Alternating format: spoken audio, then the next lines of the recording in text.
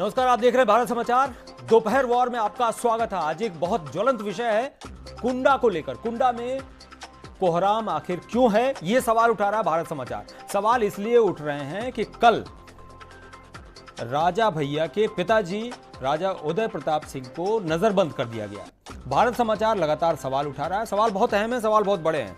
सवाल ये सबसे बड़ा इंपॉर्टेंट है कि क्या धार्मिक आयोजन व्यक्ति का मौलिक अधिकार नहीं है? सवाल ये भी है कि क्या कोई अगर भंडारा करना चाहता है तो उसको प्रशासन से लिखित अनुमति लेनी पड़ेगी? और क्या भंडारे को लेकर जो प्रशासन लॉजिक दे रहा है, खासतौर से डीएम साहब का कहना है कि ऐसी कोई परंपरा नहीं रही है। तो मुझे नहीं लगता कि परंपरा के नाम पर भंडारे को रोकना प्रशासन का नैतिक अधिकार बनता है। धार्मिक स्वतंत्रता का आखिर क्या मतलब है? ये तमाम सवाल हैं। जिन पे डिस्कशन करेंगे, लेकिन सबसे अहम सवाल ये है कि आखिर मुहर्रम के लिए प्रशासन मुस्तैद है? बनारस तक से फोर्स मंगा ली गई है। तो फिर भंडारे को लेकर प्रॉब्लम क्या है? सवाल ये भी उठता है कि कासगंज में अगर दलित की घुड़चढ़ी को एक विशेष रास्ते से ले जाने के लिए प्रशासन बाकायदा प्रबंध करता है तो फिर उसी जगह तिरंगा तिरंगा यात्रा के लिए प्रबंध क्यों नहीं किया गया?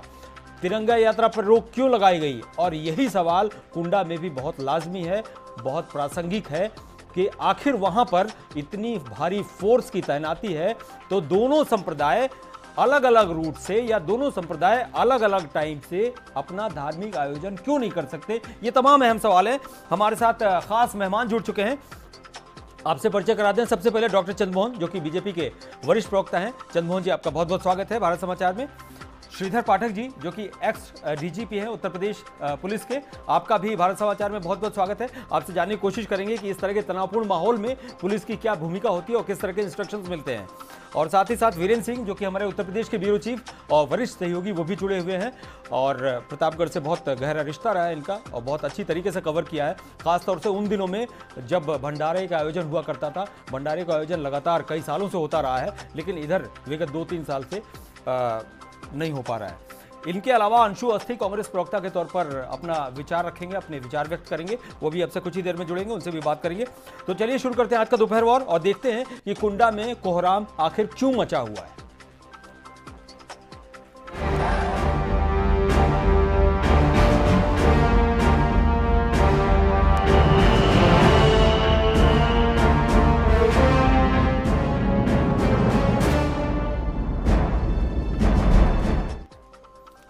इससे पहले की परिचर्चा की शुरुआत करें। आपको राजा उदय प्रताप सिंह का बयान सुनवा चा, सुनवाना चाहते हैं कि आखिर उनका भंडारे को लेकर क्या मत है और साथ ही साथ प्रशासन का बयान भी सुनवाना चाहते हैं डीएम का और एसपी का। डीएम शंभू कुमार और एसपी देवरंजन वर्मा का भी बयान आपको सुनवाना चाहते हैं। उसके बाद डिबेट की शुरुआत करेंगे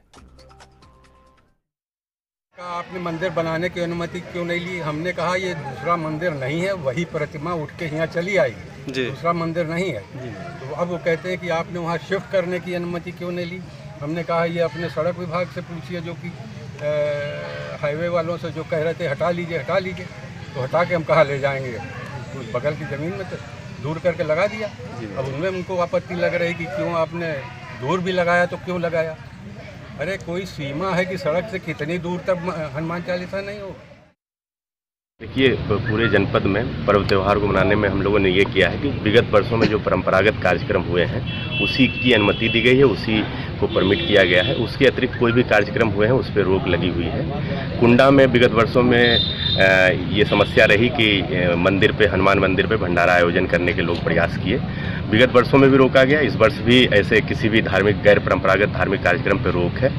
और कोई भी कानून उल्लंघन ना कर पाए शांति व्यवस्था को भंग ना कर पाए, जो पर्व त्यौहार के माहौल हैं, उसमें कोई खलल ना डाल सके, इसके लिए जो है पुलिस की तैनाती की गई है और सुबह से ही ड्यूटी लगी हुई है और हम लोग ध्यान रख रहे हैं, निगरानी कर रहे हैं, किसी तरह की कोई समस्या नहीं है, शांति व्यवस्था बनी हुई लोग कल से ही यहाँ पर पूरी तरह से सतर्क है और राउंड से हैं। सारी फोर्स हमारी लगी हुई अलग अलग पॉइंट पे। इंटेलिजेंस के कई लोग हमने खाते कपड़ों लगाए हुए हैं। उसके अलावा जो भी सोशल मीडिया पे चल रहा है उस पर भी हम लोग लगातार निगरानी कर रहे हैं। तो इस तरह की कोई संवेदनशील बात नहीं आई है अभी, और बाकी यहाँ के जो स्थानीय, यहाँ के जो विभिन्न पदाधिकारी हैं अलग अलग संगठनों के, उनसे भी हम लोग संपर्क में हैं, और माननीय राजा जी से भी हम लोग संपर्क में हैं। तो किसी तरह से कहीं पर भी किसी तरह की कोई अप्रिय बात अभी तक नहीं आई है, और बाकी जितने भी यहाँ के संगठन के लोग हैं, उन सबने है कि हम लोग प्रशासन से चर्चा की शुरुआत करते हैं। सबसे पहले रुख करते हैं डॉक्टर चंद्रमोहन का, जो कि बीजेपी के वरिष्ठ प्रवक्ता हैं। चंद्रमोहन जी, बहुत अहम सवाल है। सवाल ये है कि प्रशासन का जो लॉजिक है, उनका ये कहना है कि ऐसी परंपरा नहीं रही है। अभी अब थोड़ी देर पहले राजा उदय प्रताप सिंह का बयान सुन रहे थे हम लोग। उनका ये कहना था कि सड़क विभाग ने जब आपत्ति की तो मंदिर को एज इट इज़ वहाँ से हटा दिया गया। तो उनका ये सवाल बड़ा लाजमी है कि सड़क से आखिर ये कौन डिफाइन करेगा कि कितनी दूरी पर हनुमान चालीसा पढ़ना ये सब बातें छोड़ दिया जाए। सबसे बड़ा सवाल ये है कि इतनी भारी फोर्स की तैनाती है तो सिर्फ़ मुहर्रम के लिए क्यों है? अगर कोई भंडारा करना चाहता है तो परंपरा के नाम पर प्रशासन को रोकने का क्या औचित्य है?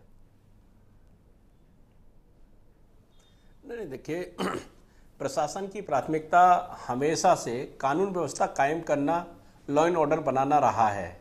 और वहाँ के, वहाँ का प्रशासन प्रतापगढ़ का प्रशासन उस ज़िम्मेदारी का निर्वहन अपने कर्तव्य का निर्वहन कर रहा है और उसके लिए जो आवश्यक कदम है उनको उनको उठाया जा रहा है।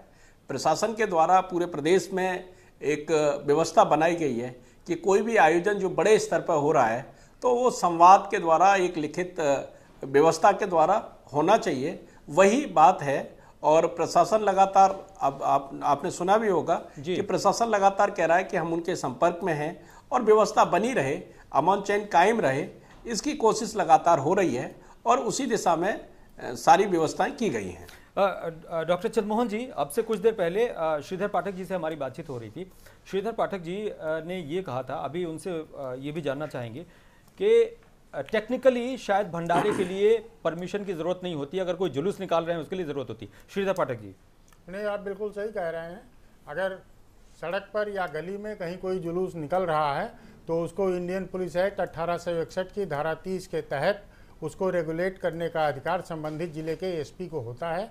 एसपी और जिला मजिस्ट्रेट इस बारे में कंसल्टेशन करने के बाद लिखित आदेश जारी करते हैं। जहाँ तक भंडारे की बात है, भंडारा तो ये है कि नौ बजे से अपना शुरू हुआ। कुछ लोगों ने 11 के बाद ही वो शुरू होता है दो तीन बजे तक ख़त्म हो जाता है। वहाँ आवश्यक पुलिस प्रबंध कर दिया जाता है। पुलिस प्रबंध में कभी कभी चार छः सिपाही लगते हैं, कभी कुछ ज़्यादा सिपाही लग जाते हैं। इसमें कोई ऐसी बात नहीं है कि उसको रोका जा सके। जी, वीरेंद्र सिंह जी जो कि हमारे वरिष्ठ सहयोगी हैं उनका रुख जानना चाहेंगे। वीरेंद्र जी, हमारे बहुत लाजमी से सवाल हैं कि अगर इतनी भारी फोर्स तैनात है तो क्या वो फोर्स सिर्फ़ एक वर्ग, एक समुदाय को खुश करने के लिए है, या एक समुदाय से ही उसको ऐसा लग रहा है कि लॉ एंड ऑर्डर वहाँ पूरा डिस्टर्ब हो जाएगा? रमन जी ये जो मामला आया है इसमें सबसे पहले कि एक सड़क चौड़ीकरण हो रहा था। और जब सड़क जो चौड़ी हो रही थी उसके बीच में ये मंदिर आ गया था। तो पीडब्ल्यूडी विभाग ने ये कहा प्रशासन ने कि जो है इसको आप लगा लीजिए हटा लीजिए और मंदिर को और उस पर तैयार हो गए राजा उदय प्रताप सिंह और उन्होंने मंदिर हटा के उसको दूर जगह बना दिया। सबसे बड़ी बात यह है कि भंडारा पिछली सरकारों से वहाँ होता रहा है। पिछली समाजवादी सरकार रही उसमें राजा भैया मंत्री रहे। और इस सरकार में भी ये भंडारा आयोजित किया गया। अब इसके लिए परमिशन की ज़रूरत कह रहा है हमारे साथ आपको रुकना चाहेंगे। एसपी देवरंजन वर्मा जी जुड़ गए हैं। देवरंजन वर्मा जी आपसे बहुत अहम सवाल हमारा है। एक सवाल ये है कि आज जब एक युवक हनुमान मंदिर में हनुमान मंदिर में हनुमान मंदिर में एक व्यक्ति दर्शन करने गया तो उसको पुलिस ने रोक दिया। आखिर ये कौन सा अधिकार है पुलिस को रोकने का अगर कोई अपनी पूजा अर्चना करने जा रहा है तो? ये आपको जिसने भी ये आपको जिस किसी ने भी सूचना दी है वो गलत सूचना दी है। और। वहाँ मौके पर हम स्वयं थे जिस व्यक्ति की आप बात कर रहे हैं उस व्यक्ति को वहाँ पर आया था वो राजा जी का प्रतिनिधि था। और उससे बस ये बात हुई थी कि डीएम साहब रास्ते में थे कि डीएम साहब भी एक बार आ जाएँ। तो हम सब लोग साथ में ही वहाँ पर पूजा कर लेंगे। किसी अच्छा एक बात बताइए एक बात बताइए प्रशासन प्रशासन क्यों रोक रहा है भंडारा करने से? इसलिए कि जो एक मिनट जो पुलिस पुलिस पुलिस के जो नियम कानून हैं कायदे कानून है उनके हिसाब से किसी जुलूस को परमिशन के लिए लिखित अनुमति की ज़रूरत होती है। लेकिन लेकिन भंडारे के लिए तो ज़रूरत नहीं होती है ना? देखिए ऐसा है कि अगर भंडारा एक नई परंपरा के तहत ऐसे स्थान पे किया जा रहा है कि जिससे सांप्रदायिक सौहार्द बिगड़ रहा है तो उसकी परमिशन नहीं मिलेगी। और ये अभी नहीं ये पिछले तीन साल से उनको परमिशन नहीं दी जा रही इस चीज़ की।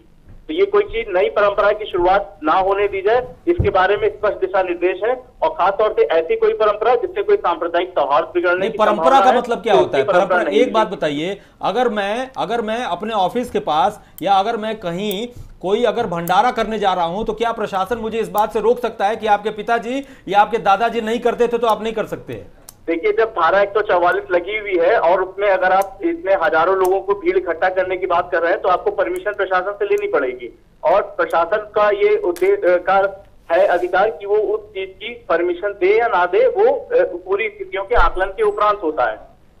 अच्छा एक बात बताइए, जब भारी फोर्स आपकी तैनात है तो फिर ऐसा भी तो हो सकता है, इसलिए कि देखिए, मुहर्रम का जुलूस निकलता है, लखनऊ में भी निकलता है तमाम रूट डाइवर्जन किए जाते हैं और उसके साथ साथ इस तरह के इंतज़ाम किए जाते हैं टाइमिंग को लेकर तो क्या प्रशासन वहाँ ऐसा कुछ नहीं कर सकता था प्रशासन ने पूरी अपनी तरफ़ से कोशिश की है लेकिन इसमें अल्टीमेट समझौता जो होना है वो दोनों पक्षों के बीच में होना है कि जहाँ पर लेकिन जब दोनों पक्षी हम लोगों ने पीस कमेटी की मीटिंग भी की कई बार मीटिंग करके दोनों से कहा कि आप लोग एक कॉमन समझौता लेकर के आइए उस पर बात आगे चले। लेकिन दोनों पक्षों के बीच समझौता होने में समस्याएँ आ रही हैं वो लोग समझौते को अभी तैयार नहीं हो पा रहे हैं। प्रशासन ने अपनी तरफ़ से पूरी कोशिश की है। अच्छा एक बात बताइए एसपी साहब क्या प्रशासन जितनी फोर्स लगी हुई है सिर्फ़ एक वर्ग की सहूलियत के लिए है?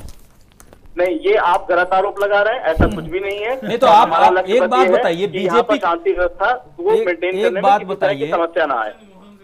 एक चलिए एक सवाल आपसे पूछेंगे एक सवाल एसपी साहब आपसे पूछेंगे हमारे ब्यूरो चीफ वीरेन वीरेंद्र जी। हाँ जी। एसपी साहब ये भंडारा तो पहले भी होता रहा है पिछली सरकारों में होता रहा है तब अचानक इसकी अनुमति की ज़रूरत क्यों पड़ गई है? नहीं ये भंडारा पहले नहीं होता रहा था ये ये 2015 में यहाँ भंडारा जब आयोजित हुआ था उस समय यहाँ कानून व्यवस्था की काफ़ी समस्या उत्पन्न हुई थी। उसी के मद्देनजर फिर आगे से कहा गया कि आप इसकी परमिशन लीजिए और उसके बाद ही आप भंडारा करा सकते हैं जिसके अंदर कंडीशंस भी होंगी कि आपको किन किन शर्तों का अनुपालन करना है। लेकिन उसके बाद से कभी भी परमिशन के लिए अप्लाई नहीं किया गया। और ये भंडारा प्राचीन नहीं है, ये महज तीन चार साल पहले ही शुरू हुई परंपरा है। नहीं, प्राचीन और नवीन से क्या मतलब क्या अभिप्राय है? क्या एक बात बताइए, कोई धार्मिक आयोजन करने के लिए उसकी परंपरा का हवाला ये ये ये अधिकार किसने दिया प्रशासन को? देखिए ये चीज़ ऐसी है कि कोई भी ऐसी नवीन परंपरा अगर शुरू हो रही है जिससे किसी तरह की कोई समस्या आ सकती है कम्युनल हार्मनी बिगड़ सकती है तो उसके अंदर प्रशासन को चलिए। ये अधिकार लेने का पूरा अधिकार है कि इसमें क्या उचित निर्णय हो अच्छा ये बताइए कि उदय प्रताप सिंह की नजरबंदी क्यों की गई है? क्या धार्मिक आयोजन पर नजरबंदी प्रशासन की तानाशाही नहीं है? देखिए कोई प्रशासनिक तानाशाही ये नहीं है ये एक प्रशासन का प्रिवेंटिव मेजर है और इसके बारे में आपको डीएम साहब ज़्यादा अच्छी तरह बता सकते हैं। जी। देवरंजन वर्मा जी आपका बहुत बहुत धन्यवाद। चंद्रमोहन जी हमारे साथ जुड़े हुए हैं। चंद्रमोहन जी से वीरेंद्र जी। जी जी। अब चंद्रमोहन जी आपकी पार्टी ने ये जो आयोजन रुकवा दिया है आपकी सरकार में उम्मीद नहीं थी कि जुलूस अच्छे से निकले और भंडारा रोक दिया जाए। तो जो हिंदुत्ववादी सरकार है उसके इस विचारधारा को कहीं ये ठेस नहीं लगती इससे? नहीं बीरेन जी ये सरकार ये सरकार पूरी तरीके से सबका साथ सबका विकास की सरकार है। उत्तर प्रदेश में अमन चैन कायम रहे उसकी सरकार है। और उत्तर प्रदेश में कावड़ यात्रा भी निकले और उत्तर प्रदेश में मुहर्रम का जल्लूस भी निकले ये उसकी सरकार है। और सरकार की ज़िम्मेदारी है कि सभी पर्व। त्योहार यथावत हो और परंपरा के अनुसार हो। भंडारा हो भंडेर भंडारे खूब हो रहे हैं भंडारे खूब हो रहे हैं जगह जगह सिर्फ- हो रहे हैं लेकिन भंडारे है? जो है भंडार जब प्रशासन के साथ में प्रशासन के साथ में कोऑर्डिनेट करके और प्रशासन के साथ व्यवस्था बनाकर और एक व्यवस्था में सहयोग करते हुए भंडारा हो और उसके उसके लिए जो आवश्यक व्यवस्थाएँ वो प्रशासन करेगा। प्रशासन ने कहा है आप आप भारत समाचार पर अभी आकर वहाँ के कप्तान ने आपसे बात की है भारत समाचार से। सारे पक्षों को स्पष्ट किया है। आप जिलाधिकारी जी से बात करेंगे वो भी सारे विषय रखेंगे। तो पूरी तरीके से सारी चीज़ें एकदम क्लियर हैं। देखिए हर प्रकार से हमको उत्तर प्रदेश में अमन चैन कायम रखना विवाद से बचना इसका प्रयास सभी को करना जी होगा। अंशु अवस्थी हमारे साथ जुड़े हुए हैं कांग्रेस प्रवक्ता के तौर पर। अंशु जी आपका बहुत बहुत स्वागत है। अंशु जी आपसे पूछना चाहेंगे अभी एसपी से बात हो रही थी उनका कहना था कि चूँकि धारा 144 लागू की गई है इसलिए वहाँ पे नज़रबंदी की गई है वहाँ पे इतना बड़ा भंडारा उसको अ, उसके आयोजन की अनुमति नहीं दे सकता। अभी श्रीधर पाठक जी भी यही बोल रहे थे कि भंडारे के लिए लिखित अनुमति की ज़रूरत नहीं होती जुलूस के लिए ज़रूरत होती है लेकिन एसपी देवरंजन वर्मा का ये लॉजिक था कि चूँकि इस भंडारे में ज़्यादा बड़ी तादाद में लोग शिरकत करेंगे या करने वाले थे इसलिए ऐसा किया गया। आपका वर्षन क्या है इस पूरे इशू को लेकर? इसलिए कि आखिर प्रतापगढ़ में ही ऐसा क्यों हो रहा है? निश्चित तौर से देखिए राजा भैया वहाँ के सर्वमान्य नेता हैं सभी वहाँ के जो पिछड़े गरीब हैं वो सम्मान करते हैं और हमेशा उनके साथ खड़े रहते हैं। इस सरकार को हर एक निर्णय में राजनीति सूझती है कि इनका कहीं राजनीतिक नुकसान दिख, दिखेगा तो ये भगवान की बात नहीं करेंगे। राजनीतिक अवसर इनको लाभ मिल रहा होगा तो ये राम राम शुरू कर देंगे। तो सिर्फ़ इसलिए कि भंडारा कोई मूवमेंट नहीं होता भंडारे का। भंडारा उनका अपने स्थान पर हो रहा था। मैं ये जानना चाह रहा हूँ, इसमें सबका साथ, सबका विकास कहाँ पर है? जुलूस निकल रहा, अच्छी बात है। भंडारा भी तो हो सकता है। भंडारा होने में लोग आएँगे, लोग जाएँगे, उसमें आखिर प्रशासन को आपत्ति क्या है? असल में सच्चाई यही है, रमन जी, कि आप देखिए, अब हिंदुओं का भी वर्गीकरण शुरू कर दिया है भारतीय जनता पार्टी ने। जो इनकी पार्टी के हिंदू हैं, वो हिंदू हैं। वो कोई धार्मिक बात करेंगे, कोई धार्मिक सवाल खड़ा कर सकते हैं। दूसरे लोग न बात कर सकते न काम कर सकते हैं दूसरे के पूजा पाठ पर ये प्रश्न चिन्ह उठाते हैं। श्री राहुल गांधी जी अभी मानसरोवर गए थे इनके नेता किस तरीके से बात कर रहे थे? तो ये असल में किसी के नहीं है ये सिर्फ़ अपने राजनीतिक मकसद के लिए वो सारी बातें करते हैं जो इनके राजनीतिक हित में हो। इतनी बड़ी स्वार्थ की राजनीति जिसमें धर्म को भी रोका जा रहा है। ये तानाशाही रवैया है बीजेपी की सरकार का। डॉक्टर चंद्रमोहन जी आपसे जवाब चाहेंगे। देखिए, मैं मैं अंशु अवस्थी जी से कहूँगा कि ये प्रतापगढ़ जाएँ और प्रतापगढ़ में कांग्रेस के एक बड़े नेता हैं, इनकी विधायक भी हैं वहाँ की। तो उन प्रमोद तिवारी जी हैं तो प्रमोद तिवारी जी जाएँ और इस समस्या के समाधान के लिए प्रशासन के साथ बात करें और समाधान करें। अंशु अवस्थी जी प्रमोद तिवारी जी के साथ जाके करें। और सरकार तो आपकी बात करें समाधान करें चर्चा से कौन मना कर रहा है बहुत अच्छा है। नहीं सरकार मैंने कहा आप प्रशासन ने चाहे उसको नजरबंद प्रशासन कर दें, जिसको चाहे ले ली। उसको रासुका में जेल लगाकर भेज दें, प्रशासन ने चाहे उसको जब चाहे छोड़ दें। प्रशासन ने तानाशाही रवैया आपका है। अरे भाई प्रशासन ने व्यवस्था दी है हम क्या तानाशाह व्यवस्था नहीं दी है? इस देश में तानाशाह भंडारे को बंद करना कोई व्यवस्था है? इस देश में इस देश में तानाशाह का मतलब कौन है सब जानते हैं तानाशाह का है- मतलब सब जानते हैं कि नरेंद्र मोदी है। तानाशाह शाम को आठ बजे आते हैं कह देते हैं अब नोट एक बंद इनलीगल टेंडर हो गए। आते हैं अचानक से कह देते हैं कि नहीं इस देश में अब ये नहीं चलेगा। कौन खाएगा क्या पिएगा क्या पहनेगा ये तय बीजेपी कैसे करेगी। चलिए श्रीधर पाठक जी हमारे साथ जुड़े हुए हैं। श्रीधर पाठक जी एक बहुत अहम सवाल और इसके बाद वीरेंद्र जी के पास जाएँगे। श्रीधर पाठक जी लखनऊ में अ, मेरी जहाँ तक इन्फॉर्मेशन है कि जब मुहर्रम का जुलूस निकलता है तो एक विशेष वर्ग जब एक विशेष प्रकार के झंडे लेकर चलता है तो उस उन इलाकों से होकर जब गुजरता है वो जुलूस जिन इलाकों में विवाद होने के चांसेस रहते हैं शिया लोगों के इलाके से तो वहाँ पे झंडे को फोल्ड कर दिया जाता है। तो ये इंतज़ाम भी प्रशासन ने ही किया है कि वो झंडे में जो तस्वीरें लगी हैं वो न दिखें ताकि आपस में क्लैश ना हो। तो क्या वहाँ पर प्रतापगढ़ में इस तरह की चीज़ें नहीं हो सकती थी अगर प्रशासन अगर जेनविनली कोई एफर्ट करता तो। नहीं, बिल्कुल सही कह रहे हैं। भंडारा कोई खास चीज़ नहीं होती है। सामान्य तौर पर ये 11 बजे से लेकर के 2 बजे तक की भीड़ रहती है। कितनी भीड़ होगी, ये तो मैं नहीं जानता। और वो भंडारा कहाँ लग रहा था? हमें लगता है जब वो लोग इतने अच्छे हैं कि उन्होंने सड़क से मंदिर को शिफ्ट करके सड़क से दूर कर दिया है तो भंडारा को भी शिफ्ट किया जा सकता था और वहाँ आवश्यक पुलिस प्रबंध किया जा सकता। लेकिन अब स्थानीय अधिकारियों ने क्या तय किया है, ये तो वो लोग बेहतर जानते होंगे। तो उस पर टिप्पणी करना उचित नहीं है लेकिन व्यापक व्यवस्था की जा सकती थी। वीरेंद्र जी। देखिए प्रिवेंटिव मेजर के नाम पर ऐसा लगता है कि शायद अधिकारी चूक कर गए हैं क्योंकि ये मामला ना कहीं विवाद में था ना कोई इसका बवाल था। पिछ 2015 से एसपी ने खुद कहा भंडारा हो रहा है चौथा साल था चलता रहता ये अचानक बवाल बन गया है और ये बवाल देखिए तमाम सारे सवाल खड़े करता है। चंद्रमोहन जी की पार्टी को जब राज्यसभा में विधान परिषद में राजा भैया का वोट लेना होता है, तब तो ये वहाँ खाना खाने भी चले जाते हैं और पुचकार के वोट भी ले लेते हैं। लेकिन उनके पिताजी के भंडारे को, उनको घर में नज़रबंद कर दिया गया, उनके भंडारे के ऊपर रोक लगा दी गई। तो ये जो दोहरा रवैया है सरकार का, ये बताता है कि सरकार हिंदुत्व के मुद्दे पर दो कदम आगे चलती है तो तीन कदम पीछे चल रही है। चंद्रमोहन जी से जवाब चाहेंगे इस बात का? देखिए बीरेन जी, हम हमारे कदम हमारे कदम, हम तो चरेवेती चरेवेती वाले, हम तो लगातार चलने वाले हैं। हम हम ऐसे नहीं है कि दो कदम आगे चले, तीन कदम पीछे चले। हमारी एकदम स्पष्ट लाइन है, आप जानते हैं। आप, आपको आप पूरी तरीके से आज अभी स्वीकार करें, ना करें, लेकिन हमारी लाइन स्पष्ट है। हम चरेवेती चरेवेती और हमने कहा कि कानून व्यवस्था बनाना प्रशासन की ज़िम्मेदारी है। प्रशासन कानून व्यवस्था के लिए जो आवश्यक कदम, श्रीधर पाठक जी ने भी अभी कहा कि वहाँ स्थानीय प्रशासन को जो आवश्यक लगा है वो वो कदम उठाए हैं। आदरणीय राजा साहब वहाँ के सम्मानित हैं। उनको प्रशासन का सहयोग सहयोग करना चाहिए। प्रशासन के साथ में व्यवस्था बनानी चाहिए।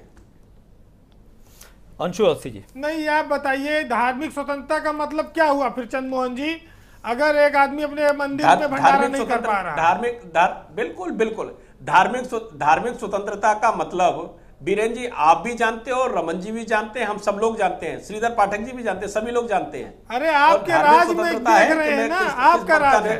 नहीं नहीं नहीं हमारे हमारे हमारे देखिए राज राज राज कानून का है बाबा साहब भीमराव अंबेडकर के बनाए हुए कानून का राज है।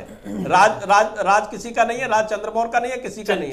जी- राज की एकदम स्पष्ट स्पष्ट है और कानून सम्मत सारी व्यवस्थाएँ हैं। चंद्रमोहन जी राम राज में चूँकि पहले आप लोग बोलते थे जंगल राज था आज तो राम राज है। तो राम राज में सुंदरकांड का पाठ प्रतापगढ़ में नहीं हो रहा है। राम राज में राम की पूजा नहीं हो पा रही है वहाँ पर। आपकी आपकी सरकार की।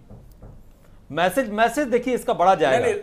सु- जी प्रशासन को अच्छा अच्छा आप बताइए। सुंदर- अच्छा अच्छा, अच्छा मुझे एक चीज़ खाली बता दीजिए। का पाठ घर घर में हो रहा है। अच्छा। भगवान राम की पूजा हो रही है। हनुमान जी का स्मरण हो रहा है। अच्छा एक बात बताइए चंद्रमोहन जी क्या आपको नहीं लगता है कि अगर प्रशासन कोई वे आउट निकालता तो डेफिनेटली थोड़ा सा खराब मैसेज नहीं जाता?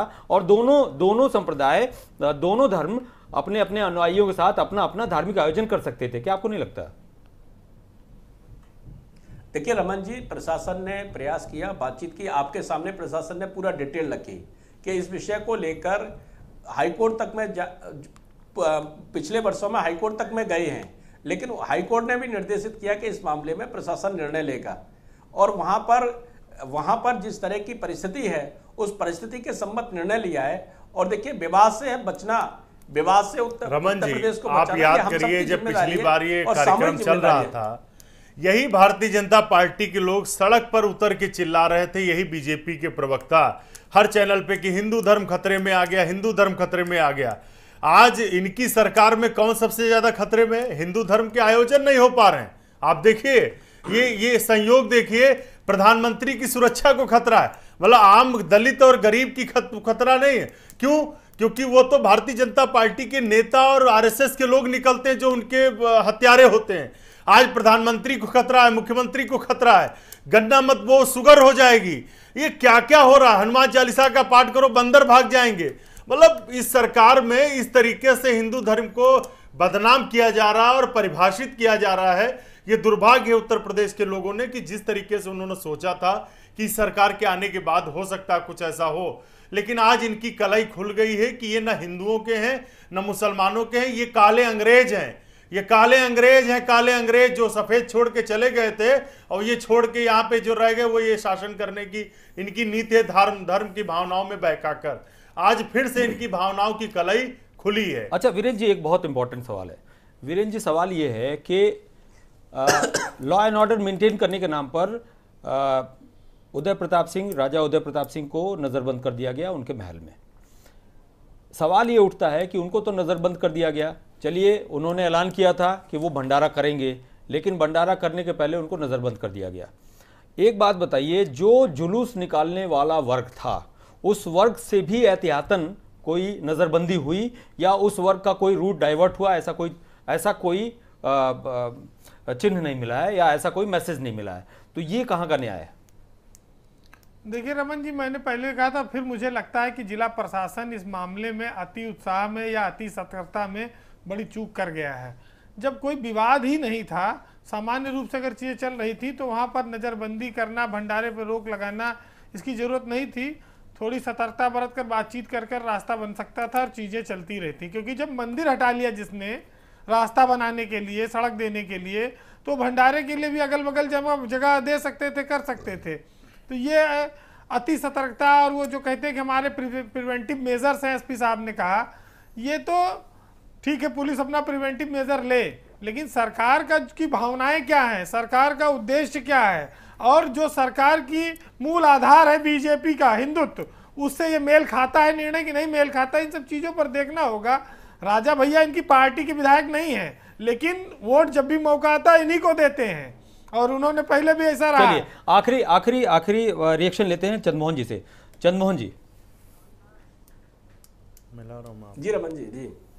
आखिरी रिएक्शन आपसे लेते हैं। कुल मिला जुला के मुझे ये लगता है कि चूँकि आपकी सरकार को ज़बरदस्त मैंडेट मिला था लोगों को, और ख़ास तौर से हिंदुत्व के मुद्दे पे बहुत अपेक्षाएँ रहती हैं, बहुत उम्मीदें रहती हैं लोगों को। तो इस तरह से कोई भी आयोजन, देखिए, जो भी आयोजन करता है, चाहे वो भंडारा कर रहा हो, एक जोश अलग किस्म का होता है, एक एक अलग किस्म का उत्साह होता है। तो वहाँ थोड़ा मैसेज थोड़ा गड़बड़ जाता है अगर प्रशासन इंतज़ाम नहीं करा पाता है। इसलिए कि अगर प्रशासन नहीं करा पा रहा है, मैनेज तो ये प्रशासन की नाकामी है। और दूसरी तरफ़ थोड़ा मनोबल भी डाउन होता है, जो अपना धर्म, उनको लगता है कि हम अपना धर्म मना नहीं पा रहे हैं, हमको इस बात की भी आज़ादी नहीं है। आखिरी रिएक्शन आपसे।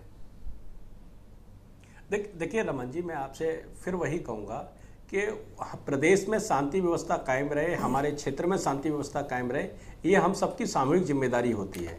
और उसमें प्रशासन के साथ में सहयोग करना और विवाद से बचना ये बहुत आवश्यक है। जी। और प्रशासन ने एक व्यवस्था दी है और प्रशासन ने व्यवस्था देकर उसके लिए क्योंकि मुहर्रम का जल्लूस भी निकलना है तो मुहर्रम के जल्लूस को लेकर एक विवाद ना पैदा हो इसकी कोशिश की गई है। और उसमें अगर संवाद संवाद से हर समस्या का समाधान है, संवाद करना चाहिए, समाधान करना चाहिए। चलिए, आप सबका बहुत बहुत धन्यवाद, डॉक्टर चंद्रमोहन जी, अंशु अवस्थी जी और श्रीधर पाठक जी, वीरेंद्र सिंह जी, आप सबका बहुत बहुत धन्यवाद। लेकिन भारत समाचार सवाल उठाएगा, सवाल इसलिए उठाएगा कि क्या धार्मिक स्वतंत्रता स्वतंत्रता के अधिकार का ये हनन नहीं है? और सबसे बड़ा सवाल ये है कि आखिर परंपरा के नाम पे किसी भंडारे को रोकना प्रशासन की कहाँ तक की नैतिकता है? आप सबका बहुत बहुत धन्यवाद, रुकते छोटे से ब्रेक के लिए, नमस्कार। Thank you